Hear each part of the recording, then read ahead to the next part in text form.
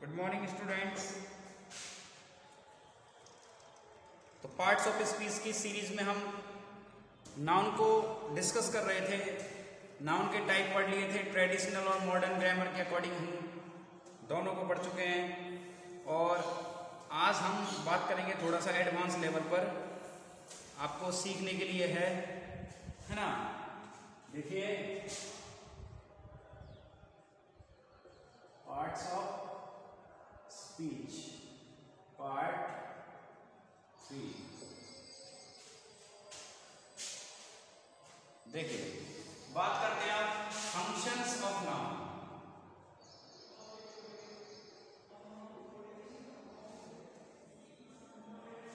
एक नाउन का क्या क्या फ़ंक्शन होता है? इसके बारे में बात करेंगे। है ना? कि एक नाउन का फ़ंक्शन क्या क्या हो सकता है? नाउन किस किस की तरह यूज़ हो सकता है? देखिए नॉर्मली छह फ़ंक्शंस लिखे हमने नाउन के। आ, और भी इसके फ़ंक्शन हो सकते हैं लेकिन हमने यहाँ छह फ़ंक्शन लिखे हैं। पहला लिखा है एज सब्जेक्ट दूसरा लिखा है एज डायरेक्ट ऑब्जेक्ट तीसरा लिखा है एज इनडायरेक्ट ऑब्जेक्ट चौथा लिखा है एज ऑब्जेक्ट ऑफ़ प्रपोजिशन पांचवा लिखा है एज कॉम्प्लीमेंट और छठा लिखा है एज पजेसिव थोड़ा ये एडवांस लेवल है, मैं आपको बता चुका हूँ कि ये छोटी क्लासेस के लिए इतना यूज़फुल नहीं है क्योंकि उनके थोड़ा स्टैंडर्ड से बाहर है। बड़ी क्लासेस के लिए, है ना? इलेवेंथ क्लास के लिए थोड़ा ठीक रहेगा। नाइन्थ क्लास के लिए लेवल थोड़ा हाई है। तो देखिए तो नाउन किसकी तरह काम करती है? सब्जेक्ट की तरह काम करती है। जैसे एग्ज़ाम्पल देखिए, मैं आपको एग्ज़ाम्पल के थ्रू समझाऊँगा कि कैसे इन सब की तरह नाउन काम करती है? देखिए स्टूडेंट्स सबसे पहले आपका काम है सेंटेंस में नाउन पहचानना। अब ये फ़र्स्ट सेंटेंस है। The thief robbed the jewellery अब देखिए, इसमें मैंने आपको बताया कि नाउन किसकी तरह काम करता है? सब्जेक्ट की तरह। यानी आपका जो सब्जेक्ट है, वो नाउन हो सकता है। अब आपका सब्जेक्ट क्या है इसमें? थीफ आप सबको पता है कि थीफ नाउन है इसका बहुवचन थीव्स होता है। तो किसकी तरह काम कर रहा है? सब्जेक्ट की तरह काम कर रहा है। थीफ जबकि नाउन है। दूसरा सेंटेंस देखिए राम, कॉट, द बर्ड इसमें राम क्या है? सब्जेक्ट है, और नाउन नहीं है। प्रॉपर नाउन है राम। पढ़ चुके अब नाम है किसी का। बर्ड भी नाउन है यहाँ जूलरी भी नाउन है। लेकिन हमें बात करनी है सिर्फ़ एज सब्जेक्ट सब्जेक्ट के रूप में काम कर रहा है, दोनों बातों में ये वाला ठीक और राम। फिर मैंने बताया डायरेक्ट ऑब्जेक्ट डायरेक्ट ऑब्जेक्ट के रूप में काम कर रहा है, देखिए नीचे वाली सेंटेंस में, ये this is he wash the dishes उसने जो डिसेज होती है, जो मतलब प्लेट वगैरह, बर्तन वगैरह होते हैं, वो धोए। रॉबर्ट पेंटेड द हाउस इसमें हाउस ऑब्जेक्ट की तरह काम कर रहे हैं दोनों ऑब्जेक्ट की तरह? तो नाउन किसकी तरह भी काम करता है? ऑब्जेक्ट की तरह डायरेक्ट ऑब्जेक्ट की तरह। इनडायरेक्ट ऑब्जेक्ट की तरह भी काम करता है। अब डायरेक्ट और इनडायरेक्ट ऑब्जेक्ट में क्या अंतर है, ये आप पढ़ोगे? देखिए, इसमें है द टीचर टॉट ये द स्टूडेंट्स ये क्या है? इनडायरेक्ट ऑब्जेक्ट है।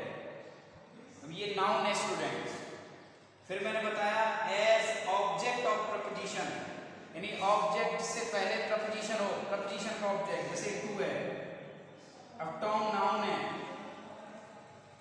और किसकी तरह काम कर रही है ये? टॉम यहाँ। As object of preposition number पाँच कॉम्प्लीमेंट की तरह भी काम करता है। इज़ एम आर के बाद वाज वर के बाद जो आएगा वो कॉम्प्लीमेंट होता है। किसके बाद? Is am are was were के बाद। तो Ram is a teacher sorry Ram is a doctor a doctor क्या है? कॉम्प्लीमेंट है। है कॉम्प्लीमेंट लेकिन ये डॉक्टर है क्या? नाउन तो नाउन किसकी तरह भी काम करती है? कॉम्प्लीमेंट की तरह। ये थोड़ा एडवांस लेवल है, मैंने बताया आपको। थोड़े बड़ी क्लास के बच्चों को ही समझ में आएगा। ये नाउन के फ़ंक्शन है।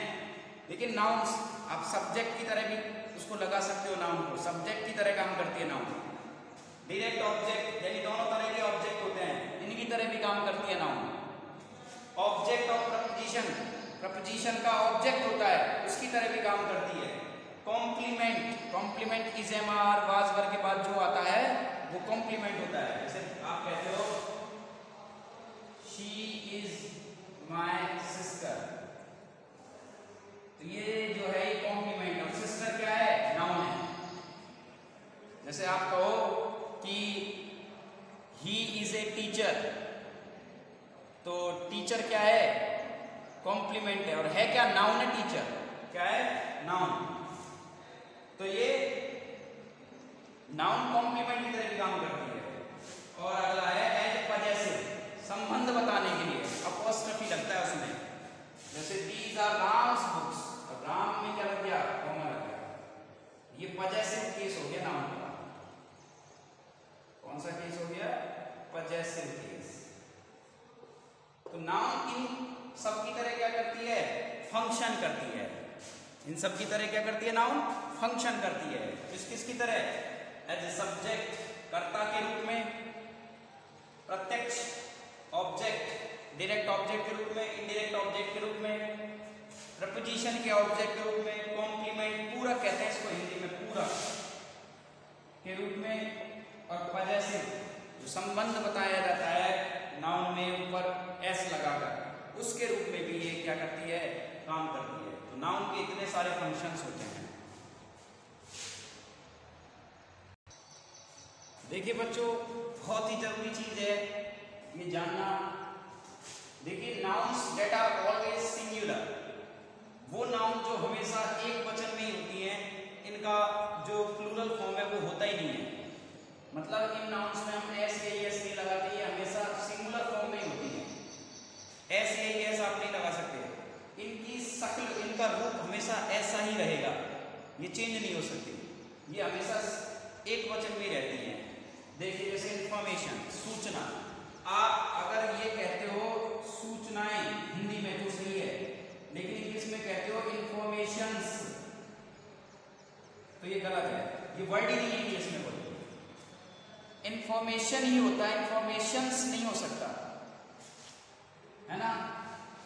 लगेज का मतलब होता है सामान चाहे थोड़ा हो चाहे ज़्यादा हो जितना भी हो सबको लगेज बोला जाएगा। लगेजेस नहीं बोला जाएगा लगेजेस नहीं बोला जाएगा, ये गलत है। नॉलेज बिज़नेस पोइट्री पोइट्रीज नहीं होता ध्यान रखना। ये जैसा है वैसा ही रूप रहेगा। ये प्लूरल फॉर्म में नहीं जाएगा। सीनरी न्यूज़ होमवर्क फर्नीचर्स नहीं होता ध्यान रखना। होमवर्क्स नहीं होता। ज्वेलरी, आभूषण, गहने वगैरह प्रोग्रेस मैथमेटिक्स ये विषय का नाम है गणित। हेयर हेयर का हेयर्स जर्नली नहीं होता है जर्नली नहीं होता ध्यान रखना। मेरे बाल मैं कहूँगा माई हेयर मेरे माई हेयर्स नहीं कहूँगा मैं माई हेयर्स नहीं कहूँगा मैं माई हेयर एडवाइस सलाह डैमेज क्षति, नुकसान वर्क काम, ये सारी नाम मोस्टली जो है मैंने आपको लिखी हुई हैं, ये आपके काम की हैं। ये हमेशा सिंगुलर फॉर्म में होती हैं। इनका प्लूरल फॉर्म नहीं होता है। ध्यान से सुनना। ये जो नाउन मैंने आपको लिखी है सारी नाउन है। और इनका हमेशा सिंगुलर फॉर्म होता है। ये प्लूरल फॉर्म में नहीं होती है। ये ध्यान देने वाली बात है। अब बात करते हैं हम nouns that are always plural वो नाउन्स जो हमेशा प्लूरल फॉर्म में होती है जिनका बहुवचन रूप होता है, यानी जिनका सिंगुलर फॉर्म नहीं होता है, जो एक वचन में यूज़ नहीं होती हैं, ऐसी नाउन्स मोस्टली मैं आपको हिंट के लिए बता देता हूँ, या तो कोई उपकरण होता है, जिसमें दो हिस्से होते हैं, जैसे कैंची, चिमटा, है ना, जिनमें दो हिस्से होते हैं, या फिर पहनने के परिधान कपड़े होते हैं, पैंट, पजामा, ट्राउज़र जींस जिनमें दो हिस्से होते हैं। तो ये नाउन्स हमेशा बहुवचन में होती हैं। सबसे इंपॉर्टेंट है ये वाली। कंग्रेचुलेशन बधाइयाँ। आप कंग्रेचुलेशन नहीं बोल सकते। आप ऐसा बोलोगे C O N G R A T U L A T I O N तो गलत बोल रहे हो आप, किसी को। आप किसी से कह रहे हो कंग्रेचुलेशन भाई। तो कंग्रेचुलेशन आप गलत बोल रहे हो। कंग्रेचुलेशन होता है। ध्यान रखना एस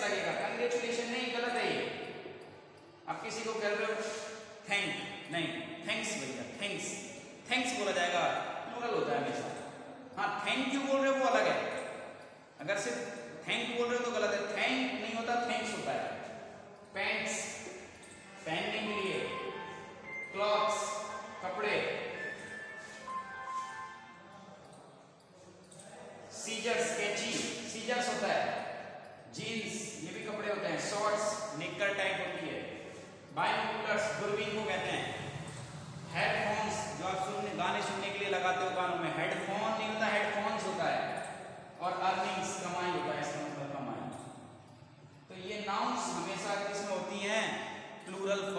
होती हैं, इनका सिंगुलर फॉर्म नहीं होता है। ये ध्यान देने की बात है। इनका सिंगुलर फॉर्म नहीं होता है। तो हम नाउन की लगभग लगभग सारी चीज़ें डिस्कस कर चुके हैं। अगर फिर भी बच्चों आपको लगता है कि कोई चीज़ बाकी है, कोई चीज़ समझी जानी है तो आप क्यूरी में जा कर के क्वेरी में जा कर के आप अपना जो क्वेश्चन है वो लिख सकते हैं। ठीक है? अगली वीडियो में बात करेंगे प्रोनाउन के साथ। Thank you